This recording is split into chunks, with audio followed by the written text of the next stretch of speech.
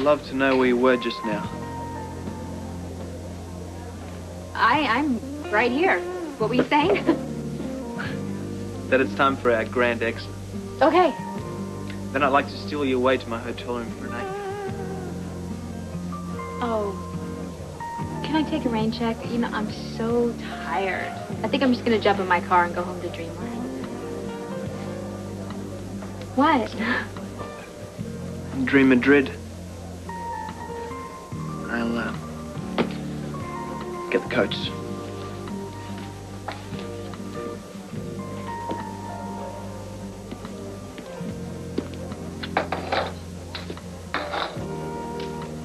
I know what you're thinking.